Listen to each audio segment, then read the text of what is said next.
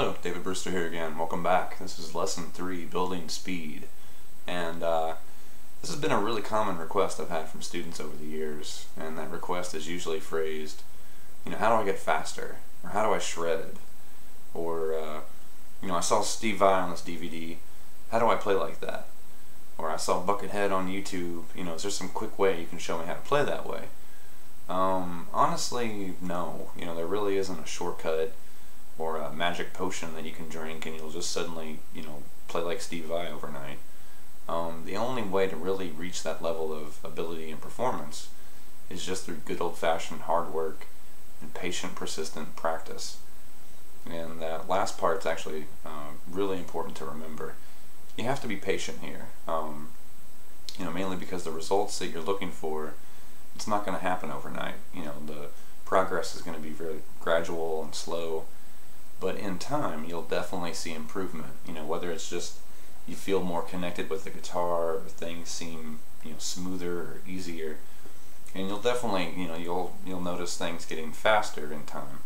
But uh, the other important thing there is being persistent. Um, you know just working on your technique or practicing you know once or twice a year really isn't going to help you you know um, and like in the perfect world, I'd just say, well, practice, you know, six to eight hours every day, and you'll be Steve Vai in no time.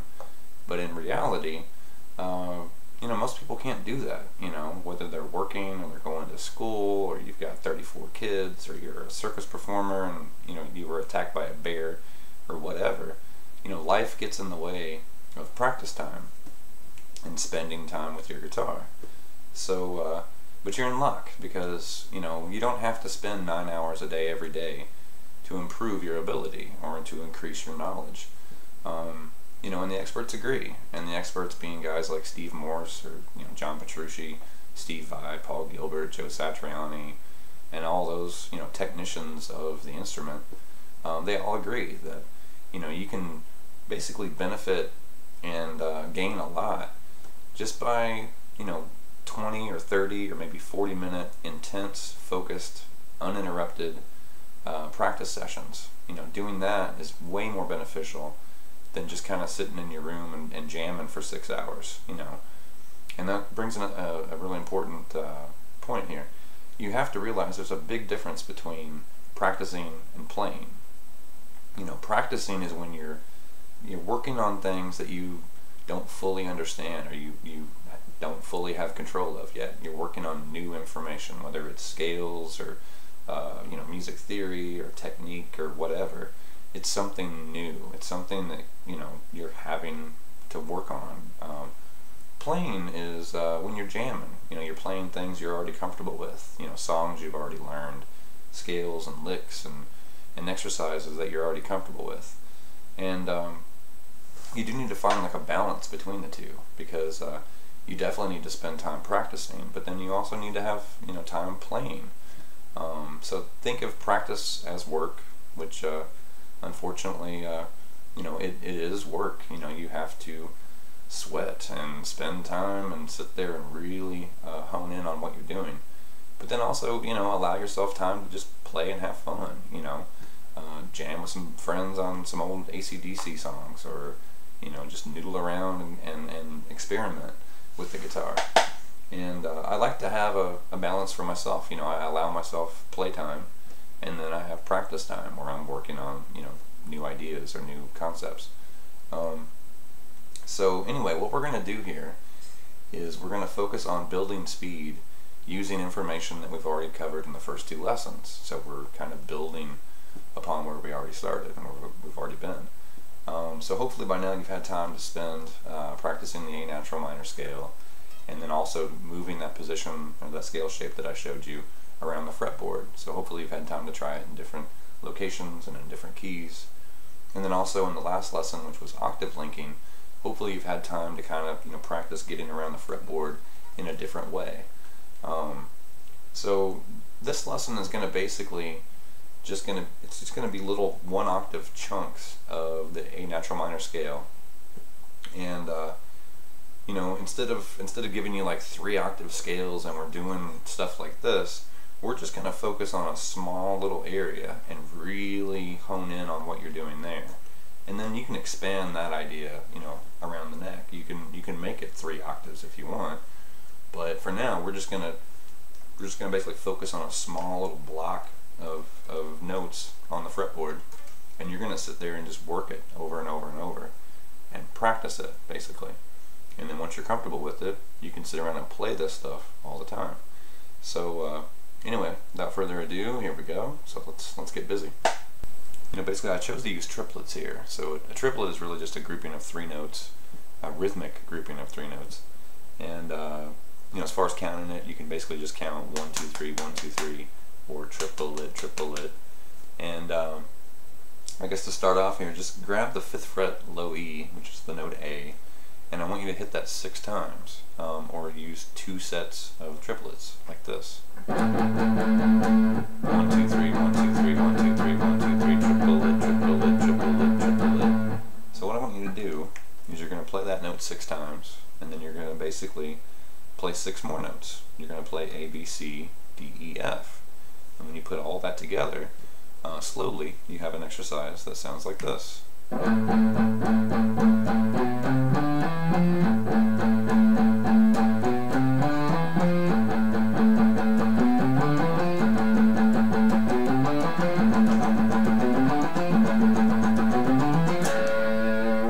what I want you to do is take that idea and then just move it up to the next octave and start on the 7th fret on the D exact same thing.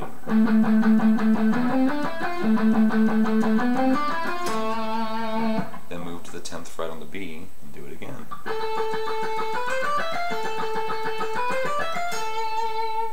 Okay, now let's just make a basic variation of that and uh, we'll start the exact same way with that, that A note but now instead of ascending through those uh, that series of notes, uh, after you do the uh, the two sets of triplets on the A, now I want you to start on F and then descend that same series. So instead of this, you're going to start here and go, and you've got this. And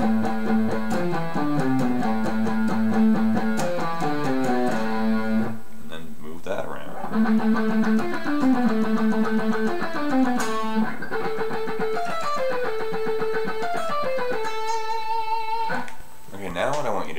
Basically split up what we just played. Um, so I want you to do three A's on the low E, and then descend F, E, D on the A, and then three A's on the low E, and descend C, B, A on the low E. Uh, so slowly, you would have this.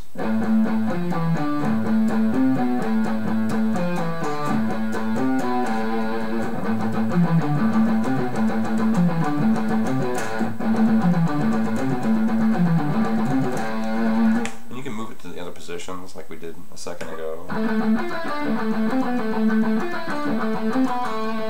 You can move it to different keys. Okay, now once you get comfortable doing that, uh, we can expand this idea. So let's go ahead and just grab that G and A note on the D string on the 5th and 7th fret, and let's incorporate those notes into an idea. Um, but let's let's stay with that uh, that triplet on the 5th fret low E. Let's start with that and play a triplet there, and then I want you to reach up and grab the 7th fret on the D and basically play this descending ascending pattern uh, A G A or 757 and then I want you to reach back down play a triplet on that A note. And then I want you to play F E F or 878 on the A. Go back down play another triplet on that A note. And then I want you to grab the 7th fret on the A and play E D E or 757 on the A go back to the low E play a triplet and then I want you to play CBC or 878 on the low E. So we're just kind of injecting this triplet A uh, pattern in between each little three note uh, walk down. We're really just kind of cruising down that scale. But instead of doing this, we're just kind of slowly just kind of making our way down there. And if you add those triplets in there, it sounds pretty cool.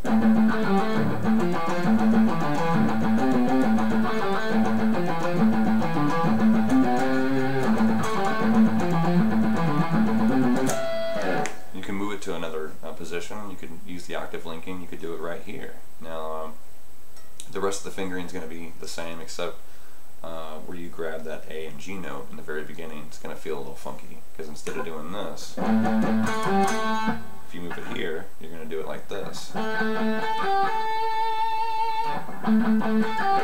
So that'd be the seventh fret on the D, and there's your A note triplet we're going to be doing. And then after you do that, you're going to reach up, grab the 10th fret on the B, and then you're going to play 10, 8, 10, or A, G, A right there. Back to that triplet here, and then basically F, E, F right here. 10, 9, 10 on the G. Back to that triplet, and then you're going to play E, D, E, or 9, 7, 9 on the G. Back to that triplet, and then you're going to play 10, 9, 10, or, you know, C, B, C on the D string. So slowly in this position.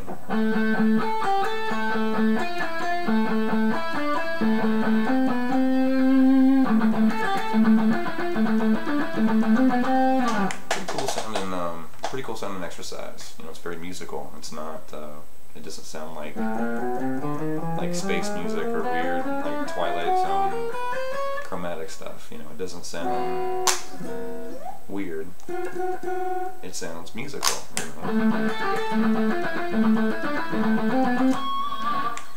Alright, well I wish you luck with these uh, speed building exercises and with the variations that I uh, instructed you to create.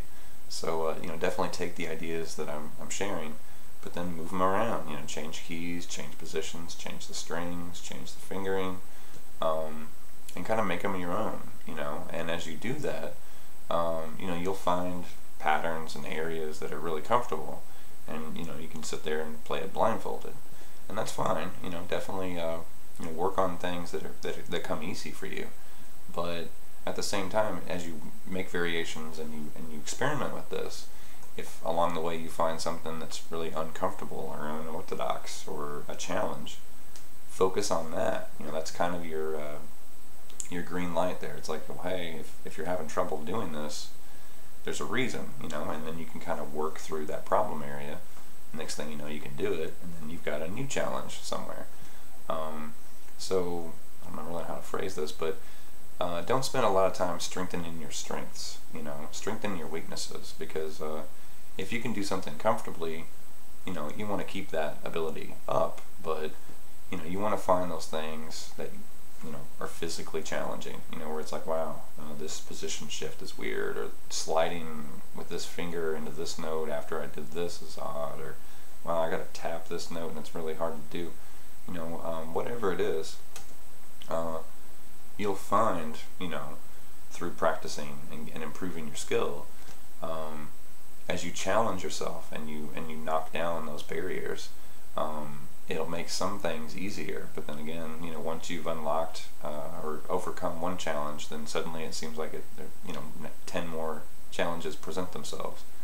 Um, so it's almost like you're just opening doors, and uh, you know, don't look at it like you know it's an impossible thing. I mean, music is a lifelong journey, so uh, you got the rest of your life to uh, to work on this and and learn and to enjoy uh, the guitar or music in general. So uh, anyway, good luck with this. Leave me some comments. Let me know uh, how your progress is working from these lessons. And I will see you in lesson four, which is coming very soon. So uh, rock on, and uh, I will. Uh, I'll see you soon. Thank you.